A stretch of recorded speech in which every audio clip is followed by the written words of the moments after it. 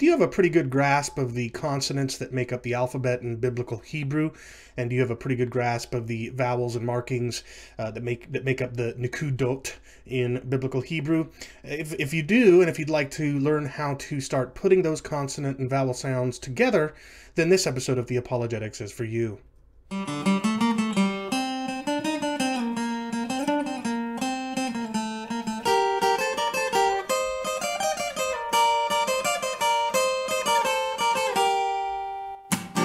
This is Chris Date, and welcome to Theopologetics, where every other week I discuss a wide variety of theological issues and show how a properly biblical worldview can help defend the historic Christian faith from its critics. Join me as we think through what we believe and why we believe it, and not something else.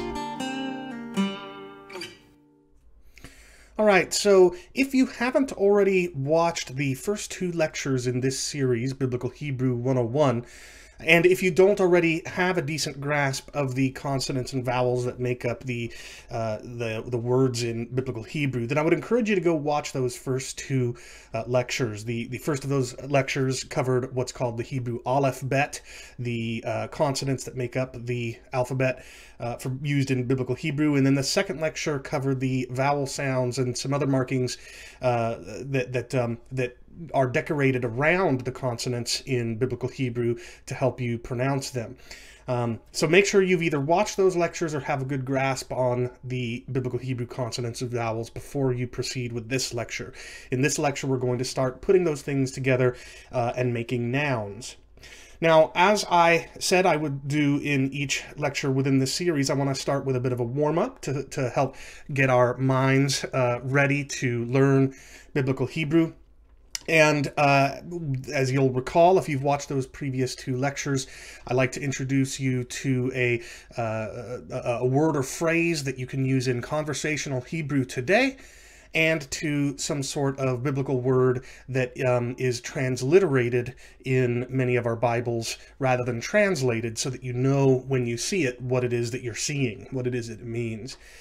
So today we're going to cover how to give, uh, how to tell someone thank you in modern conversational Hebrew, and we'll look at the uh, the word that sometimes appears in our Bibles as sabaoth. All right.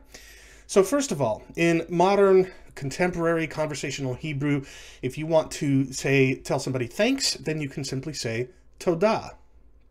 Todah. All right, that means it's just a simple informal way of, way of saying thank you in the same way that in English you might say thanks. Now, if you want to say something a little bit more um, formal or a little bit more, um, you know, you, you want to emphasize, look, thank you very much, and not just thanks, then you could say Toda Rabbah. Toda Rabbah. All right? So, thanks, you can just say Toda, and thanks very much, you can say Toda Rabbah. Right, and there are other ways to say thanks, and indeed other ways to say many of the things that you'll learn in the course of this lecture series. But uh, this is something you can immediately start using out of the gate if you have uh, Hebrew speakers that you know. Um, maybe you can impress them a little bit by telling them thanks next time they do something for you by saying Toda or Toda Rabbah. Now, in terms of a biblical name, word, or expression that appears in our English Bibles often as transliterated rather than as translated, um, what we're going to learn this time in our warm-up is the word Sabaoth. All right, in Hebrew, this is the plural form of a word that I think you're going to learn in the vocabulary of this lecture. If not, then at the end of the next lecture. Uh, the plural is tzavaot, and it means hosts or armies and this very often appears after uh, the name of God. So when you see, you'll often see something like Lord of Hosts, and what that means is God of armies, right? Master of armies, and very often the armies in mind are the angelic host, the angelic armies. Um, this word Savaot is in some translations um, it, it, it, it is uh, it appears in the New Testament as well in some translations, specifically Romans 9:29 and James 5:4, because in those two places the author uses a Greek transliteration of the Hebrew tzavaot. You can see the translator or the, the Greek transliteration right there on your screen, sabaoth, um, which isn't a translation of tzavaot, it's a transliteration and it means the same thing, hosts or armies. Um, and in some translations, it comes across as Sabaoth rather than as hosts or armies. So if in an English translation you come across the word Sabaoth, now you know what it means. It doesn't mean Sabbath or, or anything like that. It's the plural form of army or host, um, and typically is used to describe God as the Lord of hosts, Lord of armies. All right. So with that hopefully um, helpful warm-up out of the way, let's dig into how to put consonants and vowels together to make nouns. And in the course of this, we will also discuss what it means to parse and inflect nouns. Um, the terminology of parsing and inflection is something that you'll want to start to grasp if you haven't already. Now, to begin with, languages can be thought of as being somewhere on a spectrum from very analytic at one end to very synthetic at the other end. You'll sometimes hear of analytic versus synthetic languages, but it would actually be probably more accurate to speak of more synthetic versus less synthetic and more analytic versus less analytic languages. This isn't a, a binary on or off. It's not an either or. It's a spectrum. All right. And um, languages considered to be very analytic prefer to convey relationships between words using helper words and word order. All right. Um, by contrast, however, synthetic languages prefer to convey these kinds of relationships by embedding them in the very forms of the words themselves. And I'm going to give you an example of this in a moment. And um, English is generally considered to be a fairly analytic language. Again, that's a language that prefers to, prefers to communicate these relationships between words using helper words and word order. But Hebrew is a much more synthetic language. It prefers to communicate those kinds of relationships by modifying the forms of words and putting pieces of words together, as I will demonstrate for you in a moment. What, all of this is to say that if you are a native English speaker, there is going to be a bit of a learning curve adapting to Hebrew because of this transition from very analytic to very synthetic. All right, so keep that in mind and, and, just be prepared for a bit of a learning curve, but it does start to become fairly natural, so don't get too nervous about it at this point in your in your progress. Now, to help illustrate the the the analytic nature of English versus the synthetic nature of Hebrew, um, we could take a look at this sentence from 2 Samuel 1.15. The sentence in English is, and he struck him down so that he died. All right, so you can see one, two, three, four, five, six, seven, eight, nine words, each comprised of anywhere from two to six letters. All right, um, but you can see how um, uh, how a relatively simple and straightforward sentence might appear in English. That whole translation translates this in Hebrew. Vayakehu, vayakehu, vayamot. All right. So here's how this analytic versus synthetic relation or, or uh, difference is um, exhibited in these two respective languages. The word and in English is a word all of itself, all by its own, but it's a consonant and vowel prefixed to the beginning of the first word in these two Hebrew words. The phrase he struck him down in English is all one particular one simple verb in the Hebrew uh, to which that um, first consonant was prefixed to communicate and. So four words, he struck him down, are all communicated by this one um, form of this one verb. The phrase, the English phrase "so that is again uh, reflected in a single Hebrew consonant and a vowel prefixed to the next verb. And then the phrase "he died" in English is communicated by that one form of that one, the second verb in that Hebrew phrase. So all of these um, features that take one or multiple words to communicate in um, in a total of what I said I think was nine uh, nine English words, each comprised of two to six characters. All of that is communicated in two relatively short Hebrew words. And what this tells you is that as a synthetic language, Hebrew packs a whole lot of information into a single word uh, compared to an analytic, analytic language like English. Now, nouns in any given language, in case you're, um, in case you're not, not exactly sure what a noun is, it's, it's very often just a person, place, or thing, an object. Um, and there are specialized kinds of nouns. There are what are called pronouns I, you, we, they. Um, we'll learn about these in future lectures. There are proper nouns, which are the names of persons and places. Uh, but when we talk about nouns in general, we're talking about things like chair, rock, person, you know, something like that, a thing, a person, place, or thing. And in any given language, nouns can be described with a number of grammatical characteristics or properties. In English, for example, nouns have three such characteristics. Gender, um, and this can be masculine, feminine, or neutral. So, for example, he is masculine, she is feminine, but then many, or if not the vast majority of English words are neutral. There is no gender in the word computer, for example. Then there's number, which can be either singular or plural. So you can have computer or computers. You can have goose or you can have geese. You can have moose or you can have moose, because I think moose is plural of moose. And then there's case, um, and case is nominative, which is the the um, function of a word that is the subject of a sentence. Oblique, which is when it's the object of a preposition or the object of a sentence, and then genitive, which is uh, the possessive. So they would be the um, nominative case of the word they. You know, they are the subject of a sentence, so they went to the store.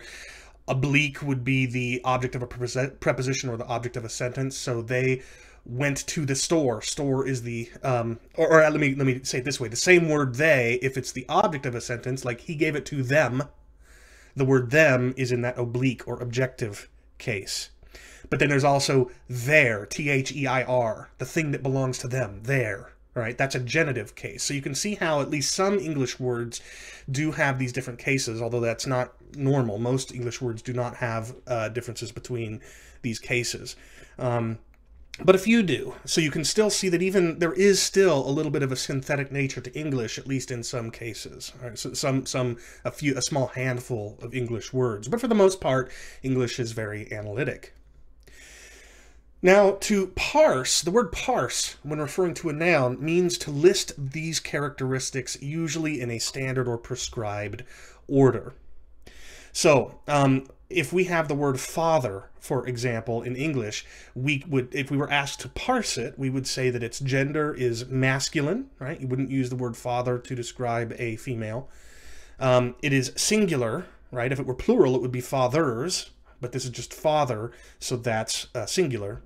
And its case is either going to be nominative or oblique. It's either going to be the subject of a sentence or the object of a sentence or the object of a preposition. All right. So you could say, my father went to the store, right? That would be um, uh, nominative. Or you could say, I gave my gift, I gave a gift to my father. Then father is oblique. But it's the same either way, whether it's the subject or the object. So we parse father, the word father, by saying it's masculine singular and either nominative or oblique. The word mothers, by contrast, is feminine. You wouldn't use the word mother to refer to a male, at least uh, historically. Nowadays, uh, everything's kind of up in the air.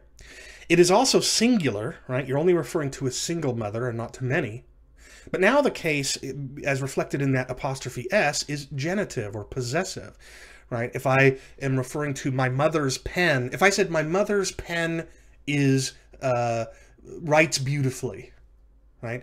Um, my is possessive, and so is mother's, right? Because I'm referring to my mother, but then I'm also referring to my mother's pen.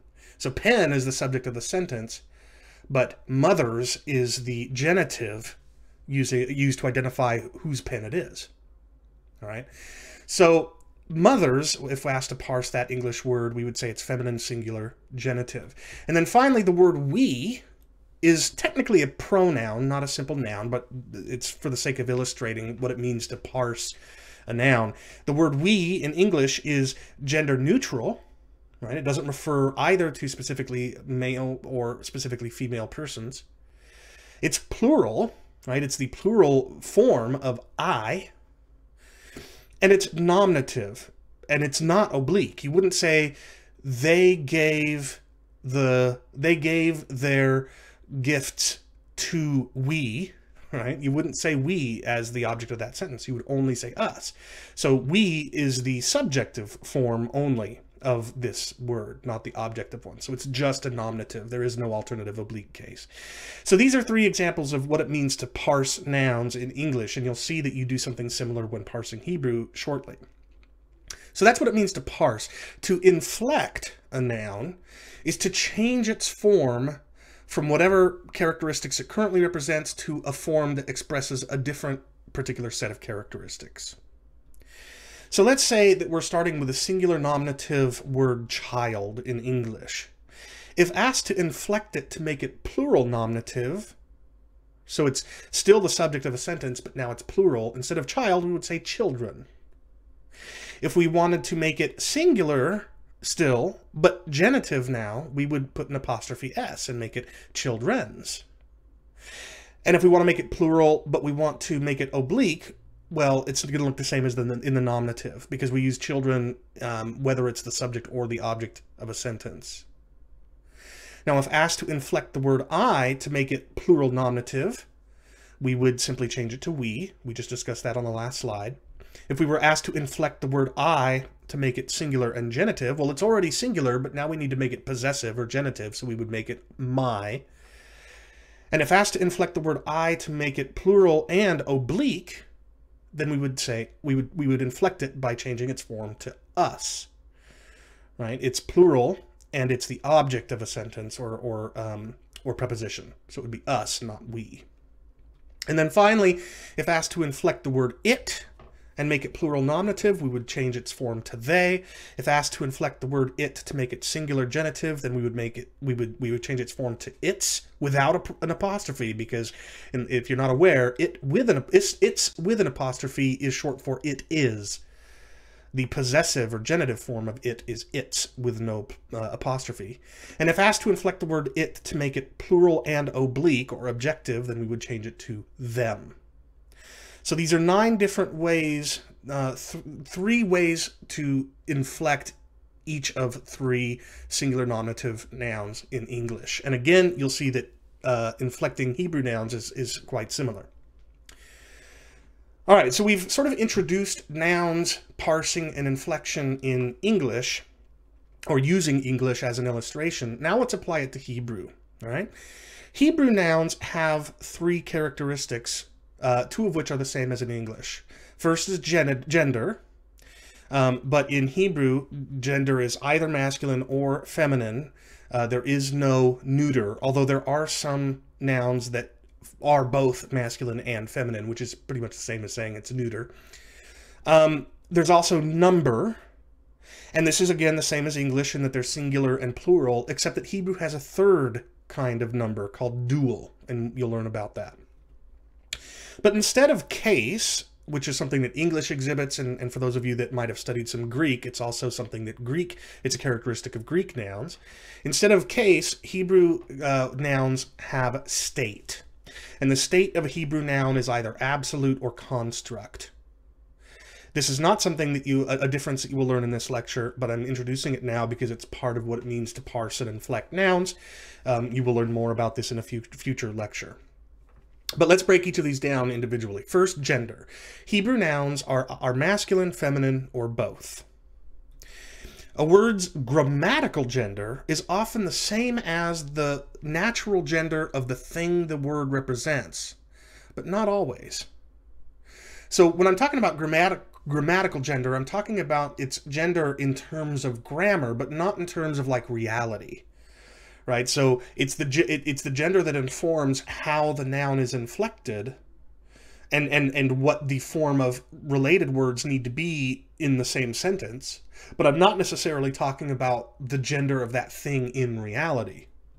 So, for example, in Hebrew, the word bain means son, and the feminine noun bat means daughter those are uh, grammatically masculine and feminine, respectively, and they correspond to the gender of the object that that word represents, right? A, a son is, in fact, masculine or male, and a, and a daughter is, in fact, feminine or female. So in this case, the grammatical gender corresponds to the natural gender. But the word barit means covenant, and it doesn't, and it's grammatically feminine, but a, a covenant doesn't have a gender in reality. And similarly, the word dam means blood. And grammatically, it's masculine, but blood in reality is neither masculine nor feminine. So you can see that grammatical gender and natural gender sometimes correspond. You might even say often correspond, but not always. So just remember, when we talk about the gender of Hebrew nouns, we're talking primarily about its grammatical gender, not the gender of the thing the word represents. Secondly, number. Hebrew nouns are singular, dual, or plural. Dual means two. I mean, that seems fairly obvious, but it's important to remember that plural nouns often refer to two also. So for example, in Genesis 1.16, the two great lights, in that phrase, the word lights is plural, not dual. Dual, you see, as a, as a um, number, is reserved for a few different things. Natural pairs, like hands, and for certain expressions of time and measure. And these are going to be something you learn mostly through vocabulary. And sometimes you'll be able to identify it by the form the noun appears in.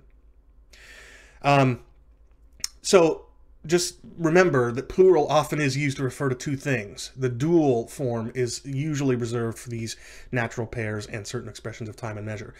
Now, importantly, even if a noun is singular, it can refer collectively to a group. right?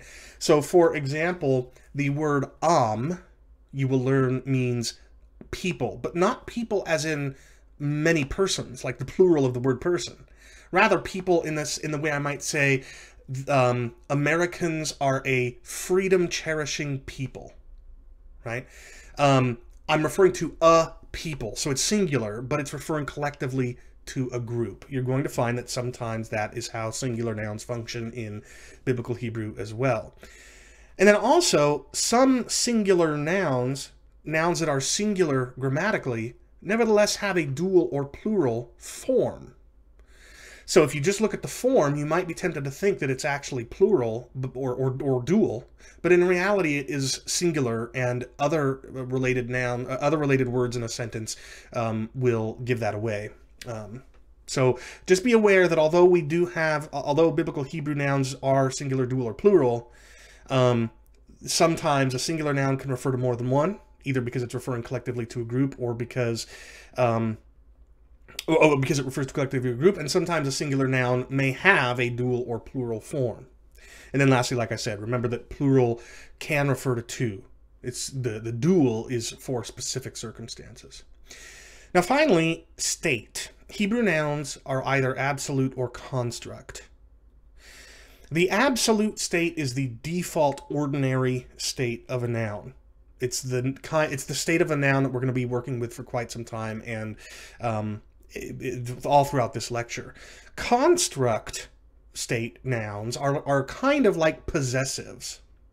So for example, in Genesis 1, 2, surface of the deep. In that phrase, surface of is the word surface, but in the construct state, right? Um, if you know any biblical Greek, you might know that um, it has a case that communicates this kind of relationship called genitive. Um, in the phrase son of God, the underlying Greek is something like hahuias tu theou, right? Hahuias is son, and then of God is the word theos, but inflected to be theou, meaning of God. So son is nominative case, hu uh, theou is genitive case, son of God. Hebrew does it a little bit backwards. Uh, in one way of speaking, instead of son of, instead of having son and then of God, Hebrew will have son of, and then God right? And son of is kind of like the construct state that we're talking about right here. But don't worry about that for now. Construct state is something that we'll be teaching in a future lecture. For now, we'll only be working with the absolute state. So for the sake, you know, for the time being, just assume that all the nouns that we're dealing with are in the absolute state. Again, the reason I'm, mentioning this now is that you get into the habit right off the bat when asked to parse a noun of providing the three things that you need to provide, gender, number, and state. All right, now, the form in which a Hebrew noun appears in the dictionary is called its lexical form. Uh, the reason it's called its lexical form is because a Hebrew dictionary is called a lexicon.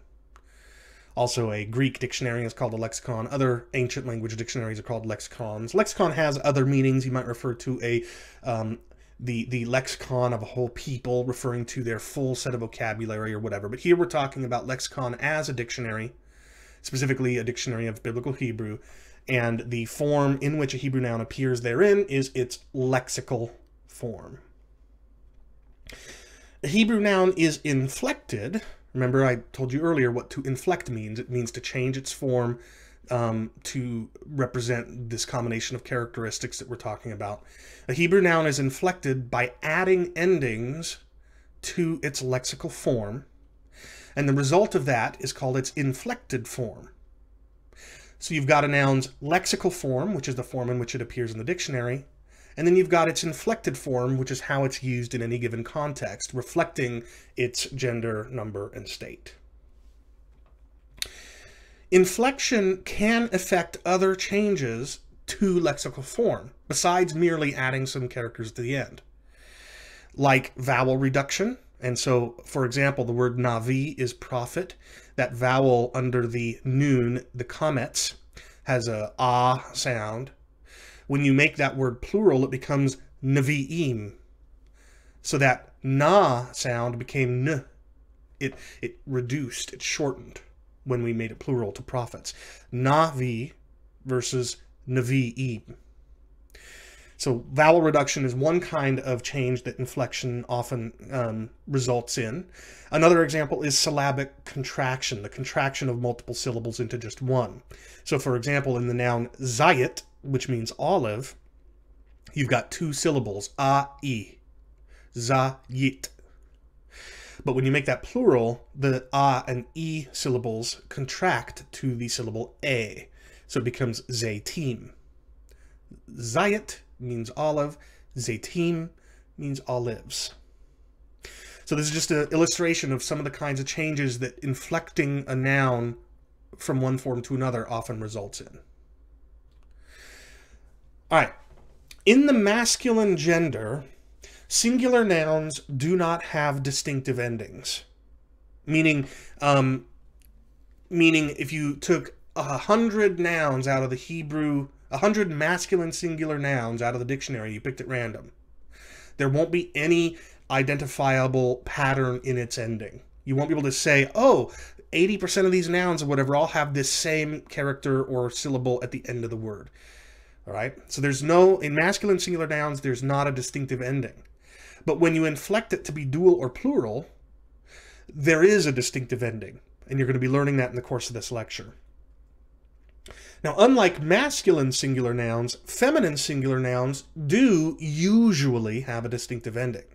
So if you pull out 100 female, feminine singular nouns out of a Hebrew lexicon, you will find that most of them do have a distinctive ending, a recognizable ending um, that is recognizably feminine and plural and the plural and dual always do. So when we're dealing with dual or plural, masculine and feminine nouns always have a um, a recognizable, a recognizably plural ending. But masculine singular ones don't. Only feminine singulars do. Um, in the dual, masculine and feminine nouns share the same ending. So um, when you see this particular ending, you'll know that it is dual in form, but you won't be able to tell from it from the ending itself whether it is masculine or feminine. Rarely, not so rare as to be something you'll almost never encounter, but rare enough that um, uh, that it is a little bit unusual. It's something you need to be on the lookout for. A masculine noun will take the feminine plural ending and vice versa. Right, so a word that is masculine in grammatical gender will sometimes have a feminine plural form, and a word that is feminine in uh, grammatical gender will sometimes be masculine plural in form. Only in form, not not grammatically. This is important. So, um, as you will learn in future lectures, verbs and the subjects of those verbs have to be the same grammatical gender and number And if you have a masculine noun that is that has a feminine plural form, the verb will still match the masculine gender of the subject because it's still masculine in gender in grammar. It's just it has a it has the feminine the characteristically feminine plural ending. So be on the lookout for that. And and and also um, I've mentioned a couple of the ways that um, nouns change in pluralization, the way that they change when you inflect it to become plural. Sometimes pluralization involves more significant changes. So just be on the lookout for that as well. One of the things that you'll need to sort of remember as you learn Biblical Hebrew, and I would say this is true of most languages, is that there's almost always exceptions to the rule. So just be aware you're going to be learning the you know the generic rules, um, but always be ready for exceptions. Now this table on the slide right now shows you those endings that I was talking about. So you've got columns for masculine and feminine, and you've got rows for singular, dual, and plural. The masculine singular has no distinctive ending, like I said in the last slide. So just a line there. The feminine singular ending, however, is typically going to be either the the syllable a, a, a qamets followed by an, an ending hey, or it will end with a tav, and um, there's a variety of different um, vowels that will precede that tav. Uh, and if you want to memorize those, you can. This, this, uh, as I've pointed out in previous lectures, this lecture series is based on Basics of Biblical Hebrew, the second edition published by Zondervan, which is authored by Pratico and Van Pelt. And if you want to look at all the various vowel combinations that uh, are characteristically feminine endings, you can do that. Or, and this is just my personal recommendation, just remember that typically feminine singular nouns end in a tav. In the plural, the masculine, the characteristically masculine plural ending is im. That's a hirek, followed by a yod, which is, if you'll remember from last lecture, that's the hirek yod uh, mater lectionis, or, or long uh, vowel letter is what your uh, textbook calls it, followed by a, an ending mem. So im you see that word im and it's uh, a word ending in this combination of vowels and consonants, it'll usually be a masculine plural noun. A feminine plural noun characteristically ends in ot. That's a holem vav, which is again one of those mater, uh, matres lectionis that we learned last uh, in last lecture, or vowel letters. It's a long O sound, followed by a tav. So that's a characteristically feminine plural ending. And then finally, in the dual, um, the form is always the same whether you're dealing with the masculine or feminine. It, feminine, it's ayim. All right, so that's not im, which is the masculine plural. This is ayim. So the uh, the the accent is on the second to last syllable, which is not characteristic of Hebrew. That syllable will have a patach, the short a vowel sound and then it will be followed by a yod and a hirek and a mem. Ayim. And that's true whether you are dealing with a masculine or feminine. Now, I do have in the feminine column here a slash followed by atayim. That's not because it's technically a different ending. It's just because sometimes a feminine singular, when it's inflected to become dual, in order to make it possible to have an im sound, they will sometimes have to append a taf at the end. And so if they have to append a taf at the end, then they will precede that with a qamets, ah, and then end it with tayim. That's a taf with a accent above it and a patach short a sound beneath it, followed by a yod, a hirek, and a mem. So this is the um, the table if you were going to memorize one set of details this lecture, this is the table you'll want to memorize. The characteristic endings for masculine and feminine, singular, dual, and plural. Here's what this looks like in action. So those endings um, are being applied to the masculine singular word sus and the feminine singular word Torah. Sus means horse, Torah means law or instruction. We'll just say it's law for right now. So notice the uh, masculine singular word sus has no characteristic ending.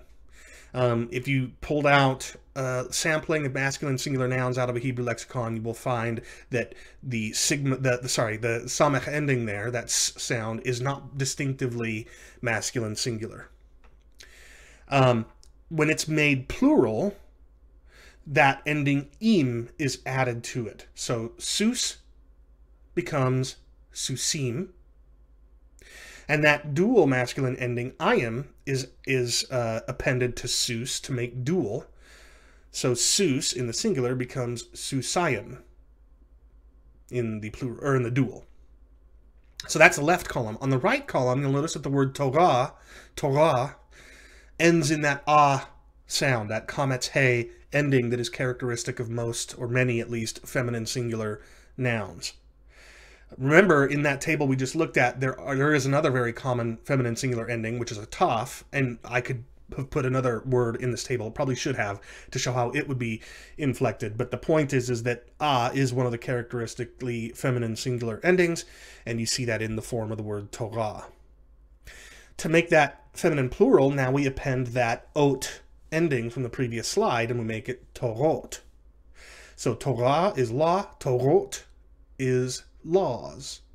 And if there were going to be a dual form, um, uh, Torah is an example of something where they can't just simply put the ayim dual ending, so they remove the hey and instead put atayim at the end. So Torah tayim becomes dual for laws. So this is just an, a, a, sample um, illustrating how those endings from the previous slides are appended to the end of the uh, lexical form of singular nouns from the dictionary in order to inflect them to become plural and dual.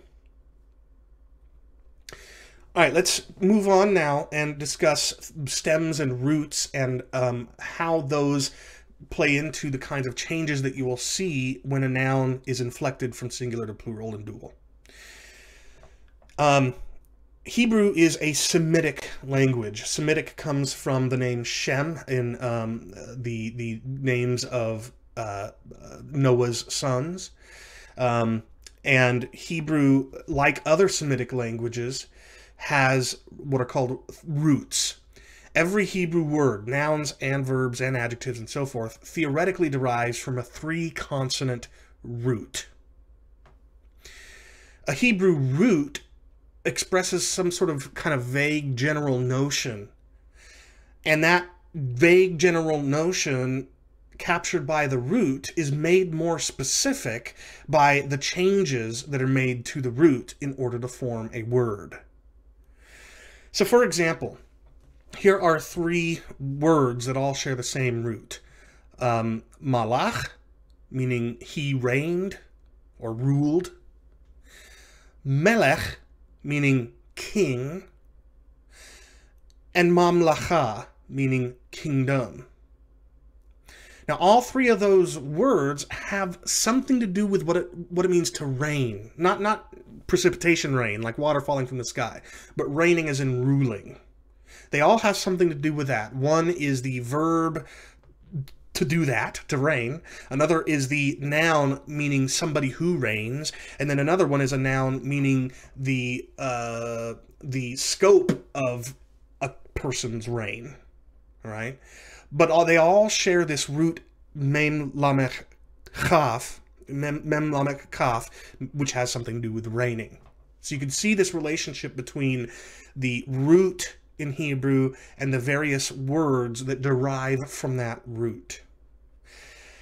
And the three consonants that, compri- that comprise any Hebrew root are called the root's radicals. So when you hear the word radical in the context of Hebrew, you're not typically uh, they're not typically talking about something that's awesome, like totally radical. They're talking about one of these three consonants that makes up a Hebrew word's root. Now, it's important that you do not confuse a Hebrew noun's root with what Pratico and Van Pelt in their textbook call the um, noun's stem. That's a confusion that is easily um, suffered from. Uh, but here's a difference. We, we looked at, just in the last slide, we saw that in a Hebrew, in, in, any word that derives from a Hebrew root the root are those three consonants that all of the various words that share that general notion all derive from. But the stem of a Hebrew noun, in the way that Pratico and Van Pelt use the word stem, is the combination of consonants in that stem's lexical form.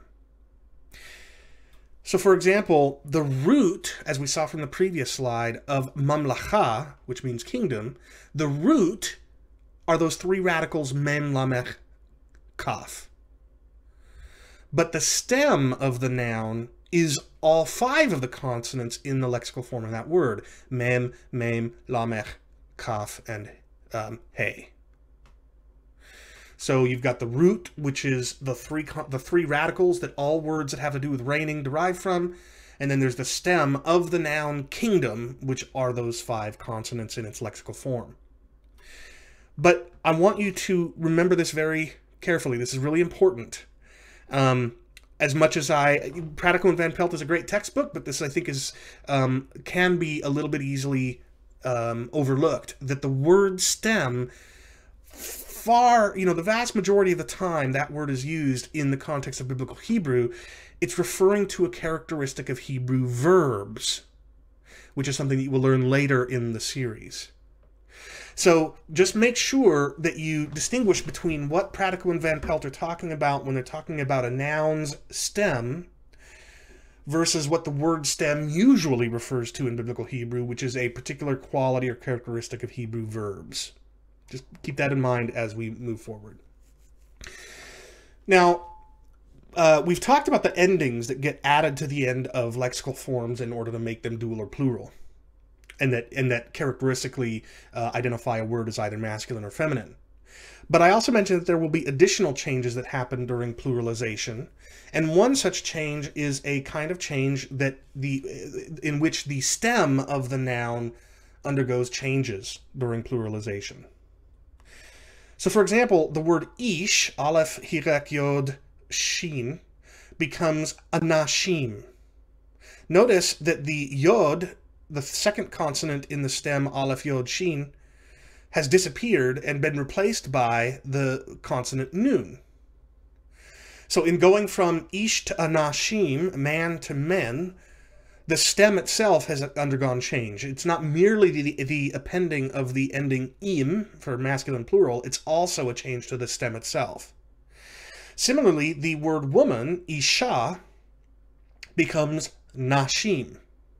Notice that the aleph at the beginning of isha has been changed to a nun, and one of the two sheens has disappeared. Now you might wonder, wait, I only see one sheen. Well, go back and watch the previous lecture because you'll remember you'll you'll you learned in that previous lecture on the the, the on the nikudot, the the marking system, the markings that are used in the system called nikud, that the dagesh uh, forte, um, meaning strong emphasis, doubles the consonant that it is applied to.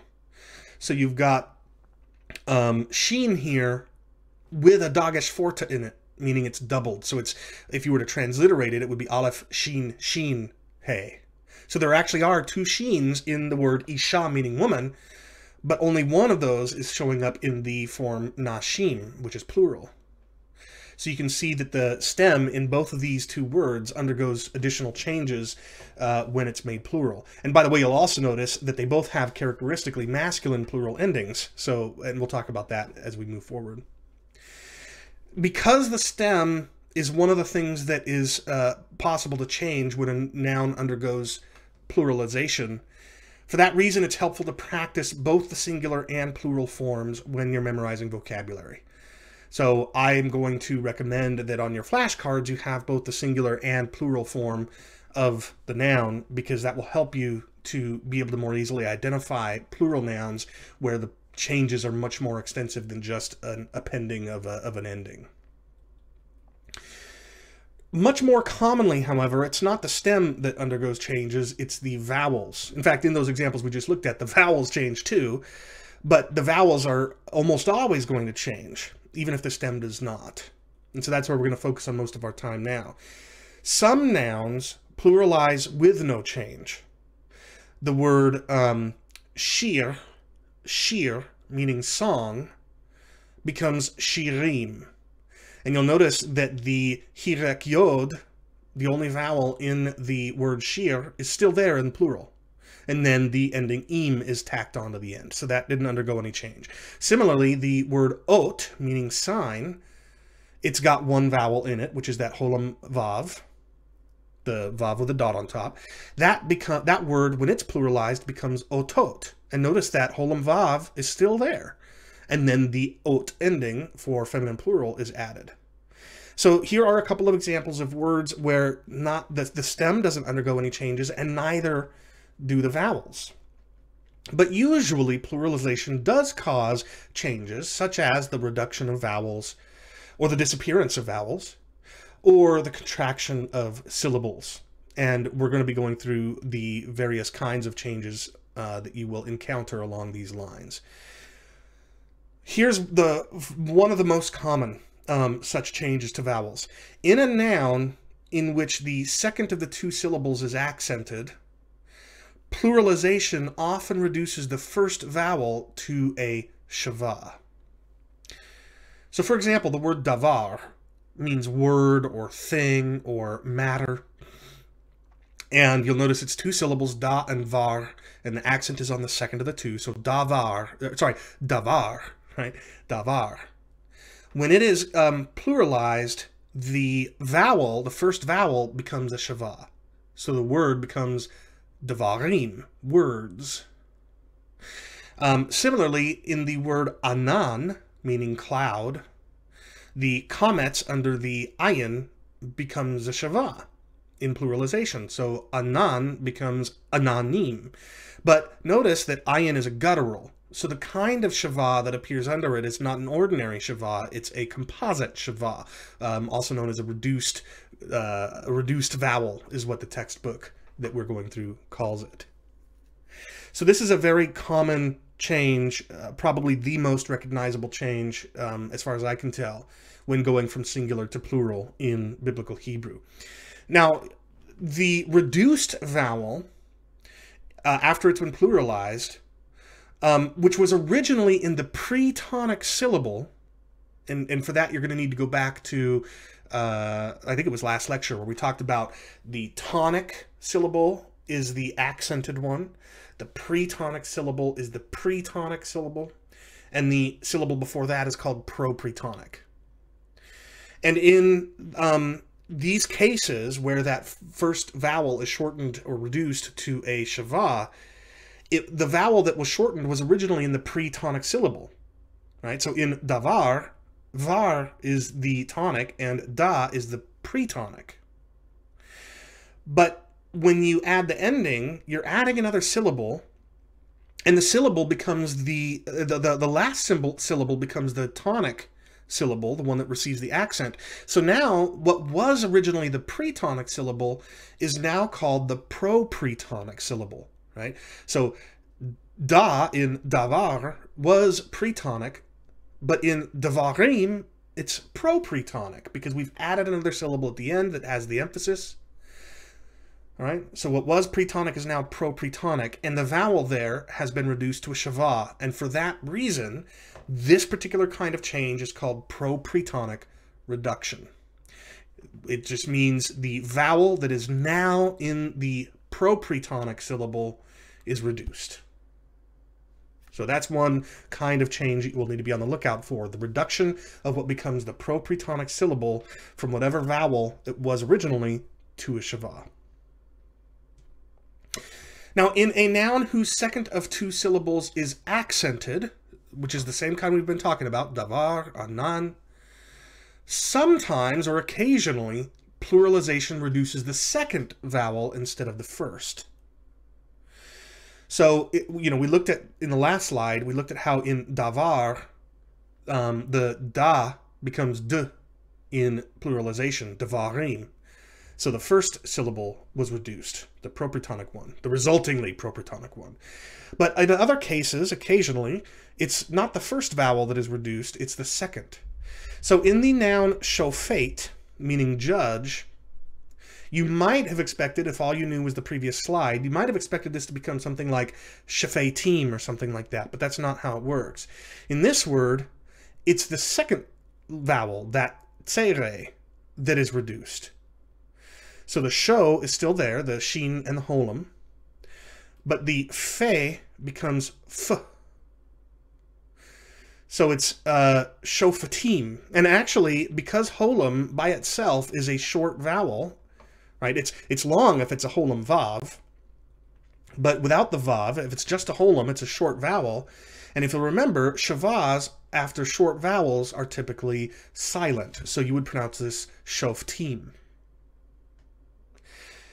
And in the case of the word moed, Again, if all you had seen was the previous slide, you might have expected that this noun, meaning assembly, when it's made plural, would become something like ma'adim. But this isn't, it's not the propretonic syllable in, in the plural form that is, that experiences a reduction. It's the, it's the second syllable.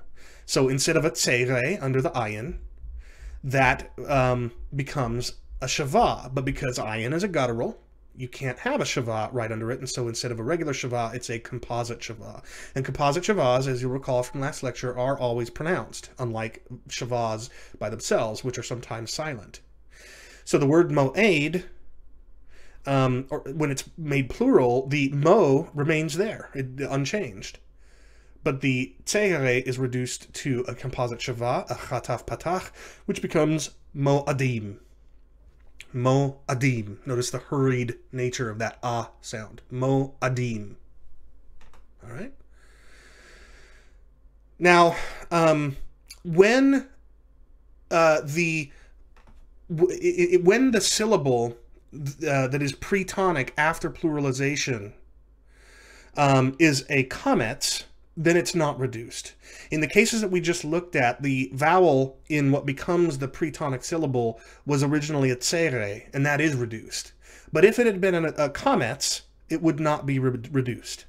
All right, so just keep that in mind. Now, sometimes two syllables in a singular noun are contracted and become one syllable in pluralization. We already looked at one of those examples earlier. The noun zayit, meaning olive, becomes zaytim. So notice those two syllables, za and yi, become the single syllable, zay. So the uh, the the uh, patach and the yod with the hirek under it combine or contract to become the, the single uh, vowel tsere yod. So zayit becomes zaytim. A similar uh, kind of contraction is in the word mavet. Mavet is the word meaning death, and when it is pluralized, the two syllables ma and ve are contracted to become mo. So the qamets followed by the vav with a segol under it, that all contracts to simply a um, holum vav the, the mater lectionis or vowel letter known as holum vav, a vav with a dot on top. So mavet becomes motim. Um, one other kind of change that is somewhat common is that if a noun ends with segol hey, um, that segol hey will disappear entirely during pluralization. So in the noun jose, the um, the the disappears entirely, and then the im ending is tacked onto it. So Jose becomes Josim. And roe, meaning shepherd, similarly becomes ro, ro'im. The segol he ending just drops out entirely. So these are the kind, some of the changes that you're going to need to be familiar with. Now, um, there's are there are particular categories or classifications of nouns based on the roots that they come from. One such category of noun or classification of noun is called geminate nouns. And these are nouns that come from roots whose second and third radicals are identical. And that's where the word geminate comes from. The Latin gemini means twins. So geminate nouns are like twin nouns in the sense that the second and third radical in the root that it derives from are the same. Now, usually in uh, geminate nouns, only one of the two identical radicals in the root appears in the noun singular form. So I mentioned the word am earlier, a people. That's two consonants, ayin and mem, but it comes from a root that has three radicals, ayin, mem, mem. Notice the two mems, the second and third radicals in the root are both mem. But when it is actually made into a word, am, one of those two radicals uh, vanishes, disappears. When possible, um, a pluralized geminate noun's other identical radical reappears in the plural form by means of a dagesh forte. So am, where only one of the two names in the rat in the in the root shows up, when it becomes plural, it becomes amim, and there's a dagesh forte in the mem, which which represents doubling. So it, there there is technically two memes there. It's just it's one meme doubled by means of a dagesh forte. So this is another kind of change you will you will encounter when nouns are pluralized. You might encounter the introduction of a dagesh forte because the doubled the the doubled um, radicals in the root resurface even though it was hidden in the singular form. The reason, in case you're curious, why the dagesh forte isn't used in the singular to double the radical is because in biblical Hebrew, it's it's uh, biblical Hebrew doesn't like words to end with a dagesh forte. Okay, so just remember that um, if you see, uh, you know, just remember that these plural that this is one of those kinds of changes that a, that a noun will undergo when becoming when being pluralized. Uh, a, a identical radical will resurface in the form of a dagesh forte. Now, some geminate nouns, that is, some nouns that derive from geminate roots, some of them have additional prefixes, in which case the second of the root's identical radicals is represented by a dagesh forte. Um, even in the singular. So, for example, the word masila uh, comes from the root samech lamed lamed. And you'll see that that dagesh forte in the um, lamed doubles the lamed. So you can see that the second radical is there because the prefix mem was prefixed to the beginning of the word. And very similarly, in the word tefillah, the root is pe lamed lamed. The prefix is the prefix taf is added at the beginning, and the second of those two lameds is represented by a dagesh forte in the noun. Now, the reason to be aware of this is because when geminates that have prefixes like this are pluralized, the other rules that we've already looked at are usually, they usually apply in a very straightforward way. So, masila in the singular, which means a highway, becomes masilot. There's that ot, feminine plural ending, meaning so so this becomes highways. And you'll notice that that uh, the original form of the word is only changed in that the a, feminine ending, is replaced with the ot, plural ending. In both the singular and the plural, the second of the two lameds in the root is represented by the dagesh forte. Pluralization of geminates without prefixes can be a little bit more difficult because they will often exhibit additional changes. Besides just the um, dagesh forte causing the um, second of the identical radicals in the root to resurface. Beyond that, there are some additional changes that pluralization of geminates causes. If a geminate's second radical can't take the dagesh forte because it's a guttural or, or, or resh, the initial vowel often lengthens in a change called compensatory lengthening. Um, this just means that the vowel preceding what would have been the dagesh forte is lengthened in order to compensate for the fact that the dagesh forte can't go there. So take the noun sar, meaning a prince. Um, the the letter resh is is not technically a guttural, but like gutturals, it cannot take a dagesh forte. And so when this geminate is made plural, sarim, something has to compensate for the loss, or for, for, the, fact that the dagesh can't make the reish doubled. And the what the compensation is made in the form of the lengthening of the patach in sar to a kametz, sarim. So that's compensatory lengthening, the lengthening of the vowel to compensate for something that was expected but couldn't happen. Now, if a geminate's initial vowel is tsere or holam, and the second radical can take the dagesh, then the initial vowel shortens. So take the word chaitz, meaning arrow. Um, when this is pluralized, the um, tsadi at the end of chaitz can take can take the dagesh forte, indicating that the root actually has two tsadis.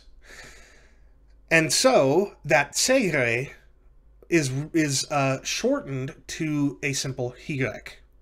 So chaitz becomes chitzim. And similarly, the word dov, meaning bear, that bait can take a dagesh forte, which it does in the plural to indicate that the root actually has two baits and not just one. And so that holam is shortened to a shurek. Sorry, not a shurek, a kibbutz.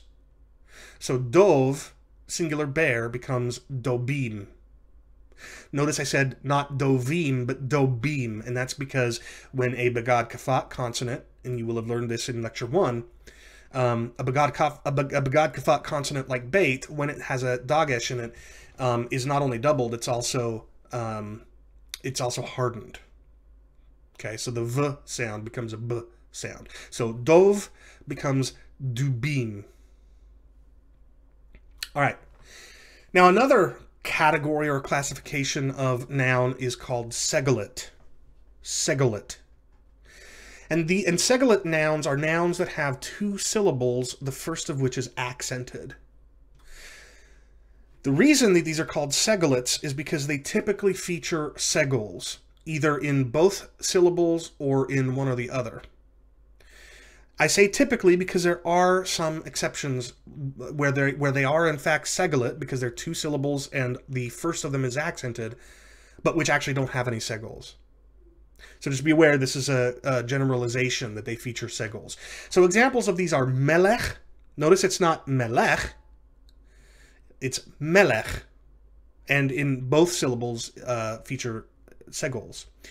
Similarly, boker is also segolit because it's got two syllables, but it's not boker, it's boker. Uh, but in this case, only the second of the two syllables features a segol. That word means morning, by the way. And the word zera, zera, means meaning seed, also has two syllables, and it's also zera, not zera. Right?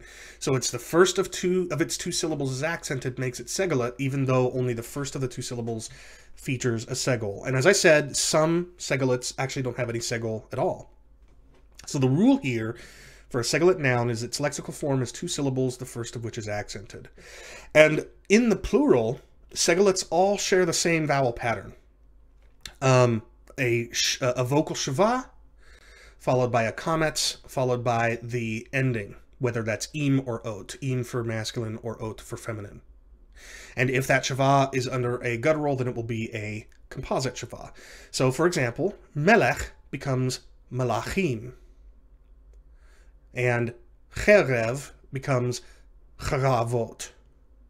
So just remember those patterns, masculine uh, uh, im and uh, ot, and that'll help you to remember. In fact, that's that's very very very common um, form uh, vowel pattern for plural nouns.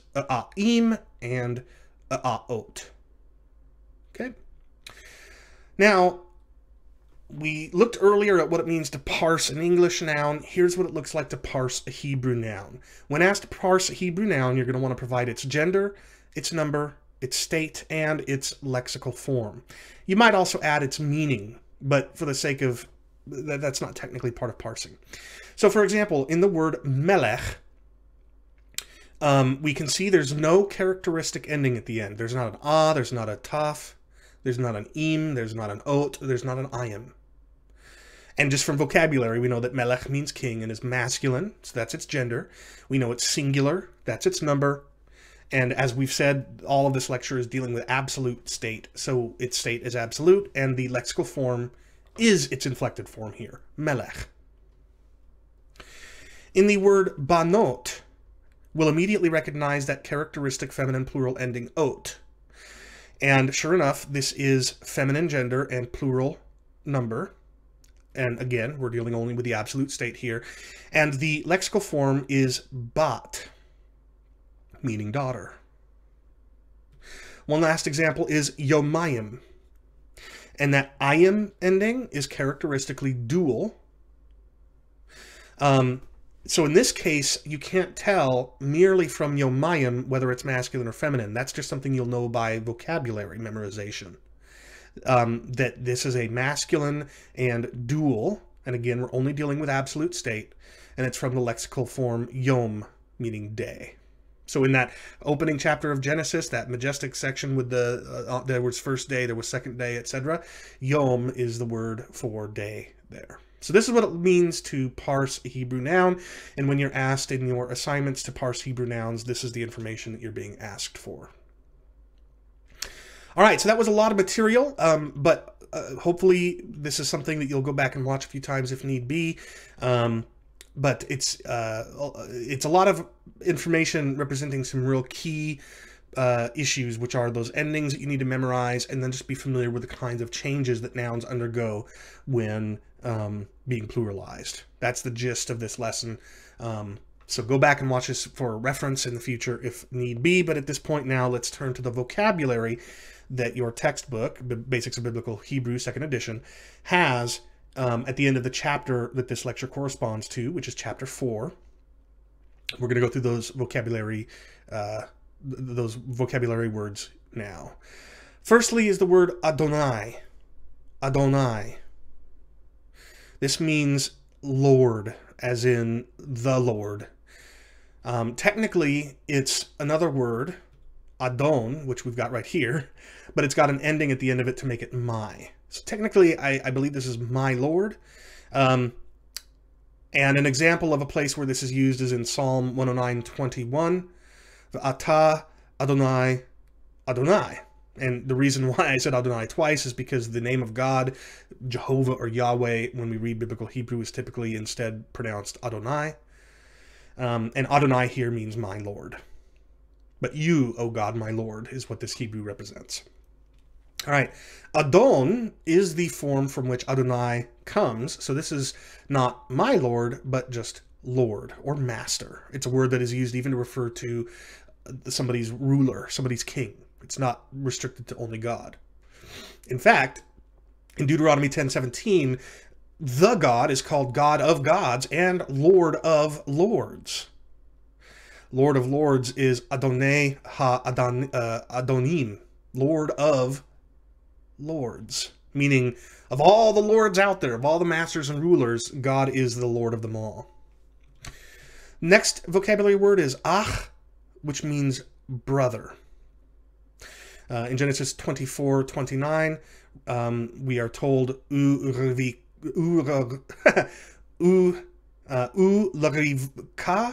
Ach Rebecca had a brother.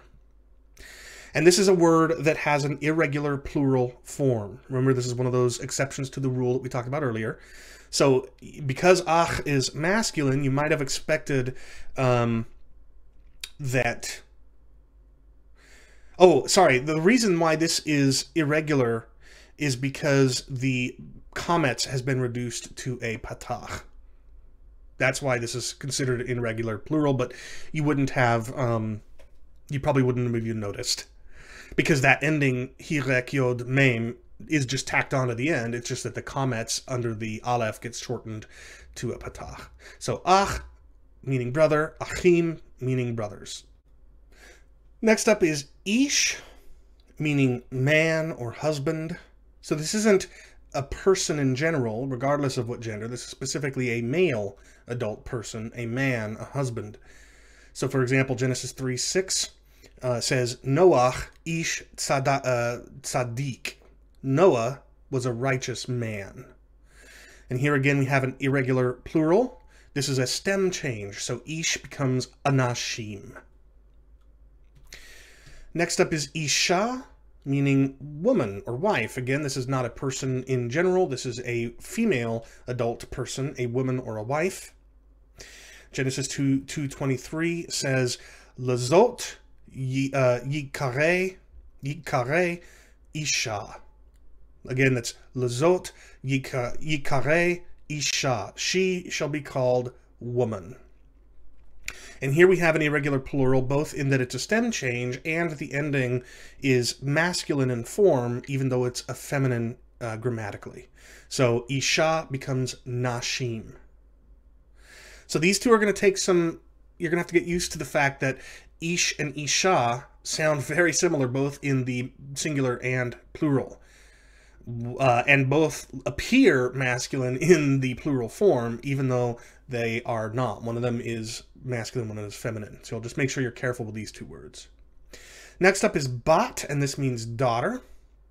In Genesis 19.8, the person says, Hine na li shete banot.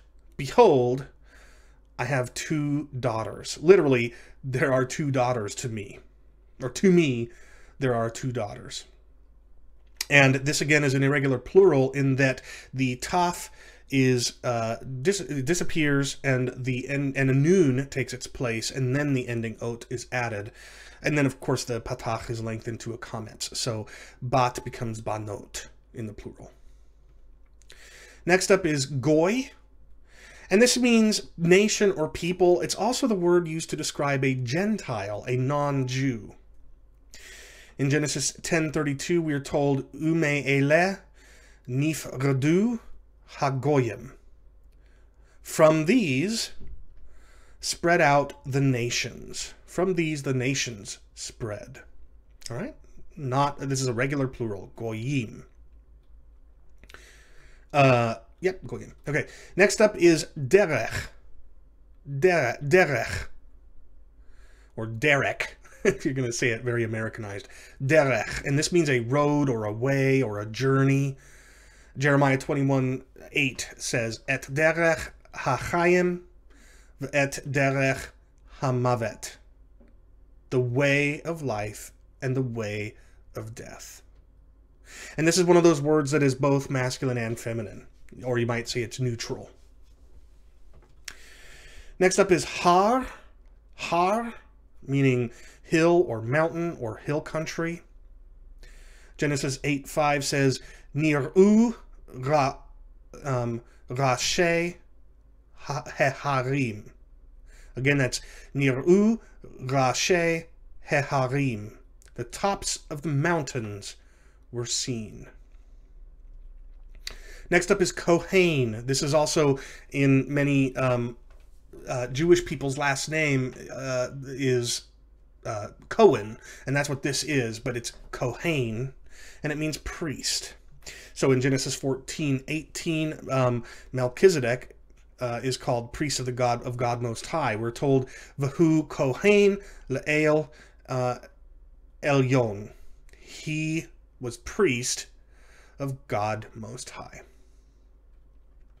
Next up is Lev meaning heart. And literally it's the the heart organ but metaphorically it's it's the mind it's the person's will the seat of a person's character and emotions and so forth.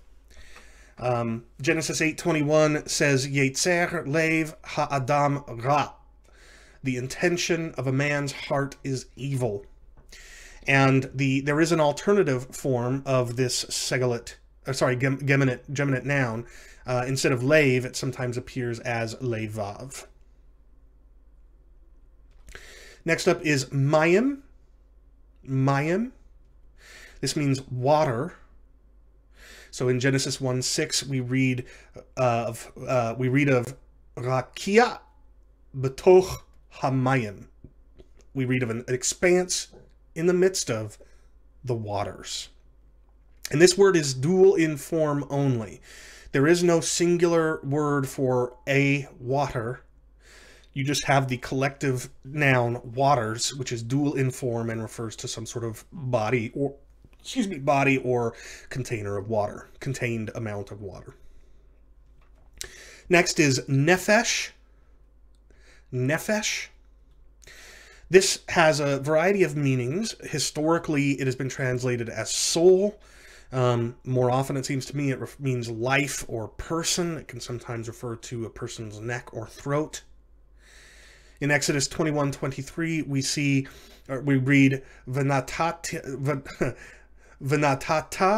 nefesh tachat nefesh, which means, then you shall pay life in exchange for life. And this is a word that, although it doesn't have a characteristically feminine ending, is in fact feminine. So the the, uh, the plural form will be nefashot. It'll have that feminine plural ending. Next up is navi, which means prophet. Navi. Deuteronomy 18:20 reads, "Umate hanavi hahu." That same prophet shall die. Navi. Next up is Sefer. Sefer. This means book or scroll or document. Exodus 17:14 reads, "Ketov zot zikaron basefer." Write this as a memorial in a book. Sefer. Next up is ayin. Ayin and this means eye, like this kind of eye, the kind of eye in your head, or spring, like this uh, spring from which a water flows. Um, Genesis 3 6 reads, Ta'ava hu la'enayim, which means it was a delight to the eyes. And this is a word that is feminine and it's um, it doesn't have a plural form. There, it's it's it's not a plural thing. It's a dual thing. It naturally comes in pairs.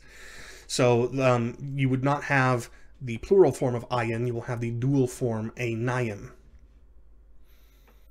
A nayim. And notice that's an irregular dual, right? It's it's not just an ayim ending added to the end of ayin. Ayin actually undergoes some changes before the plural ending is added.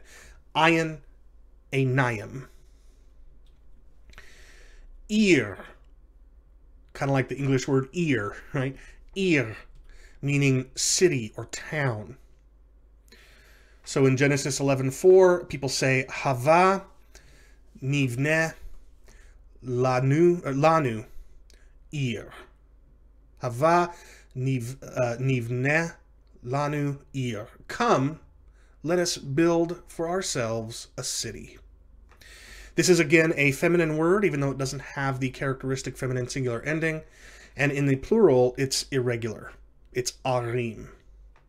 So it's uh, irregular in two ways. Not only does it have the masculine form plural ending, but it also, instead of the, the, the hirek yod, is replaced with a kametz in the plural form. So ir is one city, arim is more than one city. Tsava. All right, so this is the word that we learned toward the beginning of this lecture, meaning host or army, war, service. Exodus 12:41 speaks of Kol Tzivot Adonai, all the hosts or armies of the Lord. Again, this is feminine, even though it doesn't have a characteristically feminine singular ending. And when it is plural, it appears as tzavaot. Kol. Kol. This means voice or sound or noise. So in Genesis 3 8, Adam and Eve hear the sound of the Lord God walking. Um, that text says, Vayishma'u et kol Adonai Elohim. They heard the sound of the Lord God.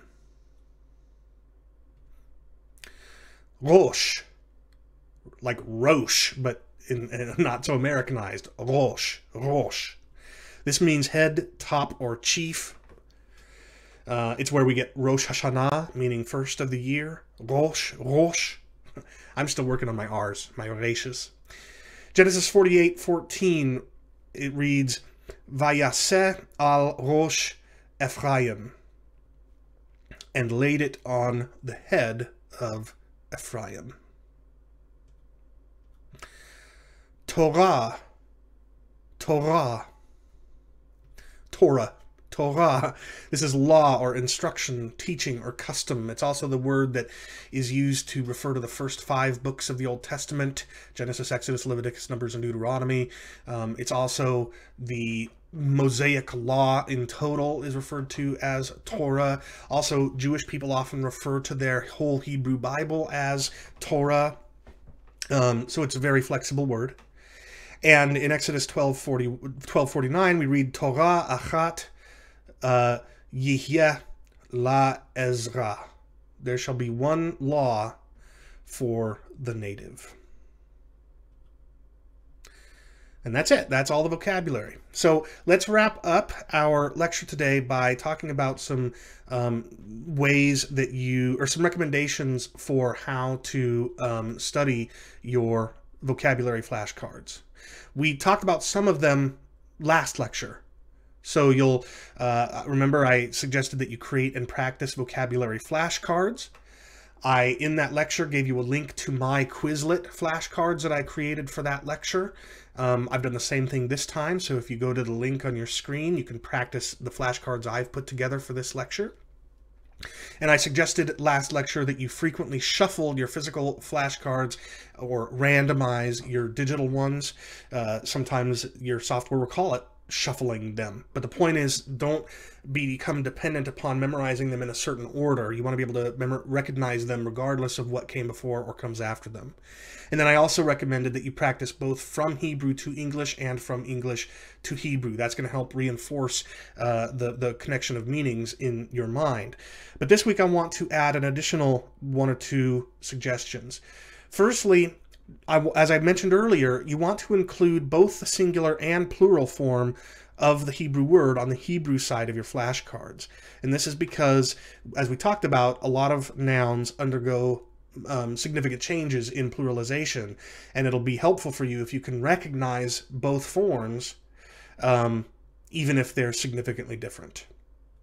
So that's the first additional piece of advice I want to give you in this lecture. And the second one is, after mastering the vocab in one lecture, I'd encourage you to mix the set in with your previous sets and practice them together. So by now, hopefully you've mastered Lecture 2's vocabulary, um, which were the vocabulary words at the end of Chapter 3 in Pratico and Van Pelt's Basics of Biblical Hebrew, second edition after you have um, gotten a good handle on this lecture's vocabulary, which is the vocabulary at the end of chapter four, I'm encouraging you to mix those together and then practice them all together. And if you do that, then you're it's it's because it's just going to reinforce in your mind the meanings of these words because they will know they will lose their whatever connections you started to have between um, words in a word in one set and the other words in that set. Right? You don't want to become so dependent on tsava being within the same group of words with ach. Right? You want to be able, which were two words in this vocabulary that we just went through. You want to be able to recognize those even if they come before or after words from the previous lecture and words from future lectures. So ideally, you're going to be growing you know, a larger and larger and larger larger vocabulary set that are all mixed together, so that you're not dependent upon them being segregated by lecture. All right, so that's the last bit of advice that I want to give you there. Now, secondly, this is now a good time for you to start learning how to type in Hebrew so that you can create your own Hebrew vocabulary flashcards. Um, this, if you do that, if you start learning how to type and if you start creating your vocabulary flashcards by typing them out yourself, it's going to make it easier for you to, um, uh, to, to remember the vocabulary and the language, but it's also going to make it easier for you in the future to include Hebrew in papers that you write if you're in seminary or, or some other educational context. It's going to help you to put Hebrew in social media and all sorts of places like that. So typing Hebrew in this day and age would be uh, very beneficial for you to learn. To get started, you can go to a resource, uh, just a real simple website uh, web page at the website of Reformed Theological Seminary, and I've got a shortened URL up on the screen for you to go to, and that will talk you uh, through how to get started typing in Hebrew, whether you're on a Mac computer or a PC, a Windows computer. That's that's how you can get started but if you want something a little more detailed like a detailed tutorial on how to type in hebrew i'm going to record a video explaining just that and i'll include it in this series very soon by the time i've uploaded this i still will not have produced the the typing video but i will have it soon so if you're watching this and it's not available yet just hang in there you can get started if you want by going to that link on the screen but be keeping your eyes very soon keep, keep your eyes in on this channel for the, another entry in this series coming up very soon on how to type biblical Hebrew. Um, and now I want to give you the same advice I gave you last lecture. I want to encourage you to practice reading pointed Hebrew aloud, even if you don't understand what you're saying. When remember, I was going back to, when we were just doing the vocabulary, and I was reading the Hebrew on the screen uh, for the example sentences in which the vocabulary appears. You can tell I'm still stumbling and struggling. Um, I'm trying to do better and better and better at that. And the only way that you get better and better and better at being able to read aloud uh, or, or just read, period, biblical Hebrew, is by practicing. So even if you don't understand what it is that you're saying aloud, practice reading pointed Hebrew aloud. And one way that you can do that is by following along in the pointed Hebrew as a fluent reader, unlike me, reads it aloud. So I've given here a couple of links to YouTube videos where you can alter the speed so you can slow it down a bit um, to make it easier to follow along. And in these videos that I've linked to, um, they highlight the words as they're vocalizing them so that you can more easily follow along. So that's it. I hope this has been helpful and gives you a good grasp of Hebrew nouns. Um, and we'll be back uh, in the next episode in the series for either that video on typing in Hebrew or at the very least the video that will give you a chance to practice what you've learned in this lecture just like I did in videos after the second and first lectures as well. After this lecture, the next one will be a lecture that teaches you the definite article meaning the and the conjunction meaning and. But until then, Toda Rabbah. Thanks a lot.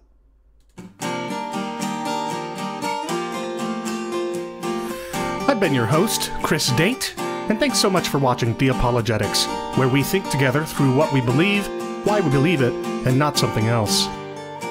If you've enjoyed this episode, please click the thumbs up, like icon, the subscribe button, and the bell icon to receive notifications when new videos are streamed or uploaded.